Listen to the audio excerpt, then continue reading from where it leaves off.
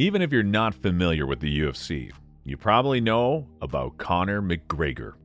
Since his UFC debut back in 2013, McGregor has made a name for himself in the octagon by taking on numerous fighters, breaking records, and establishing himself as a formidable competitor.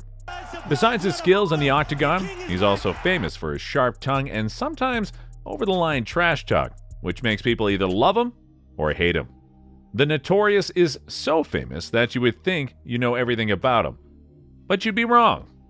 Did you know that once he bet Dana White $3 million? Or what about the fact that he's an avid LGBTQ rights supporter? Or how about his painful and excruciating weight cuts at 145? Please allow me to give you 10 fascinating facts about the notorious Conor McGregor. Number 10, his sister is a former bodybuilder. Conor McGregor might be the most famous member of his family, but did you know his sister Erin made a name for herself as a competitive bodybuilder? Erin shared that she only realized how much effort her brother puts into his career when she started competing herself. While Erin doesn't compete anymore, through their respective careers, they developed a deep mutual respect that wasn't there before. Number 9. He was bullied growing up. Conor McGregor often found himself dealing with bullies as a child due to his size, which made him an easy target. The situation was so tough that he started carrying a dumbbell in his school bag to use as a weapon if needed. He explained to the Daily Mail that he never really felt bullied, but was frustrated by his inability to defend himself. After each fight, instead of just moving on like most kids, McGregor would replay the events in his mind, thinking about how he could have handled things better. This reflection led him to start kickboxing and jiu-jitsu later. Initially, his goal was merely to defend himself, but soon, training became his passion and his life's focus shaping him into the athlete he is today. His experiences with bullies have driven him to advocate for anti bullying initiatives, where he speaks to young people at youth centers about how to handle such challenges. Number 8. He supports LGBTQ rights. In 2015, the legalization of same sex marriage was a major headline, not just in the United States, but globally. Despite his reputation for often trash talking, Conor McGregor revealed a more supportive side of himself during Ireland's same sex marriage referendum in May 2015. He took to Twitter to express his support, encouraging his followers with a clear message. Myself and my team are urging everyone to please vote yes to equality.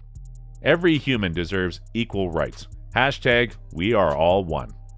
The gym where McGregor occasionally trains, Straight Blast Gym of Ireland, also advocated for a yes vote, McGregor is known for leveraging his fame to spotlight significant issues, and his involvement in the campaign for marriage equality is a prime example. Number 7. The meaning behind his hat.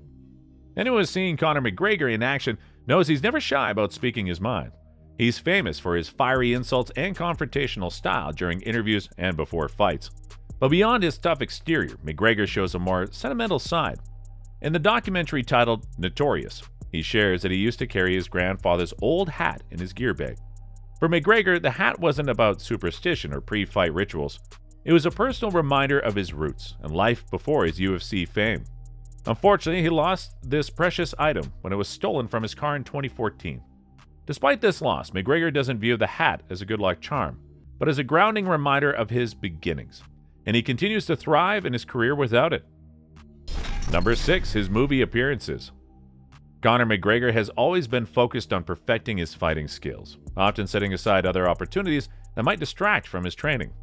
In 2016, he was lined up to appear in the Triple X The Return of Xander Cage, and was even offered a role as a Bond villain, but he turned it down to stay focused on his training.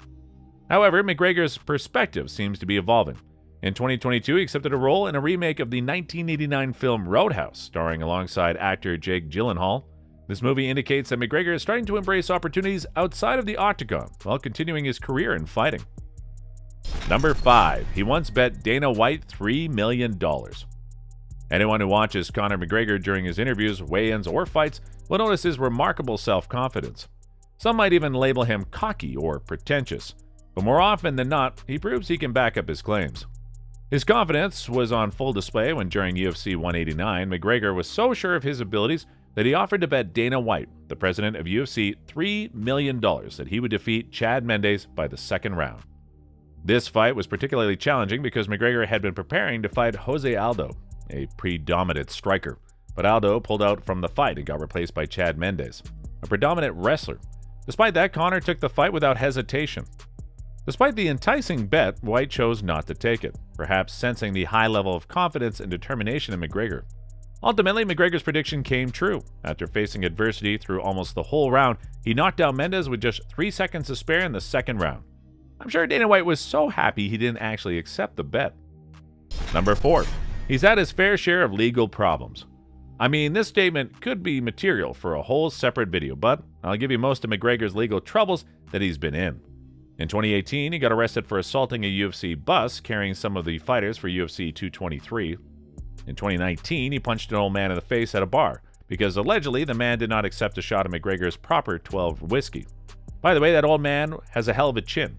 Not everyone can brag about eating a punch from a hard hitter professional fighter and just casually keep talking to the person next to him after.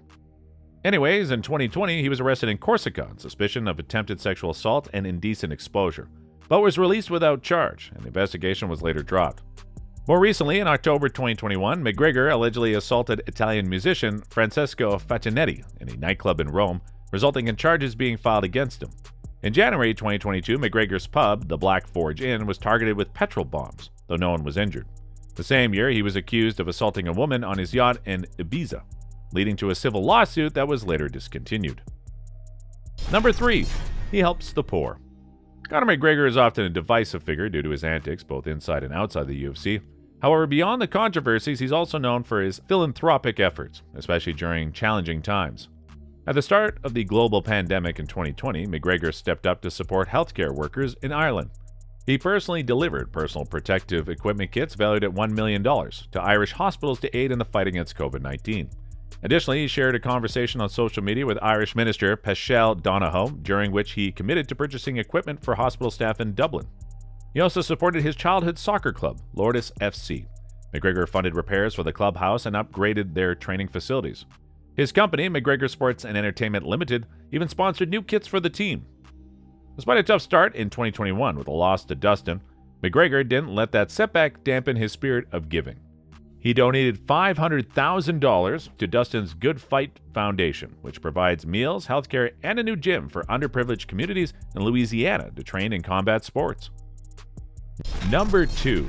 His insane weight cuts at 145. Conor McGregor has packed on a lot of muscle and weight while he's been recovering from the horrific leg break injury that he suffered in 2021. Now, as we head into 2024, he's getting ready to face Michael Chandler, UFC 303. Even though McGregor is looking really buff now, that wasn't always the case, especially back when he was cutting weight to make the 145 pound limit in the featherweight division.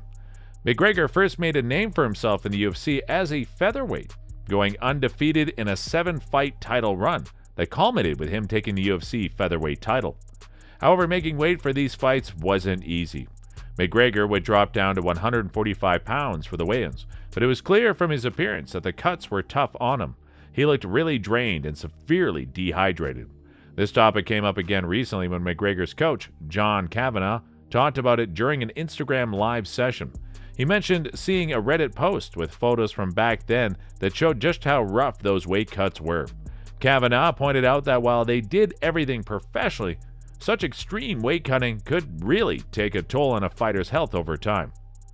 By the way, it's worth mentioning that despite having to make that grueling weight cut, McGregor never missed weigh in any of the seven times he fought at that division. Number 1. He has the fastest knockout in a title fight. UFC 194 hosted one of the most memorable fights in the history of mixed martial arts. It took place on December 12, 2015 at the MGM Grand Garden Arena in Las Vegas. The fight between Aldo and McGregor started with tension as neither fighter touched gloves. Right away, McGregor took the center of the octagon shortly after he caught Aldo coming in with a perfectly executed counter left hook that knocked out Aldo unconscious. With just 13 seconds in, this would mark the fastest knockout in a UFC title fight. Which of these facts surprised you the most? Go ahead and tell us your valuable opinion in the comment section below. Also, don't forget to like, subscribe, and turn the notifications on so you won't miss any of our videos. And that's it for today. Until then, remember to protect yourself at all times.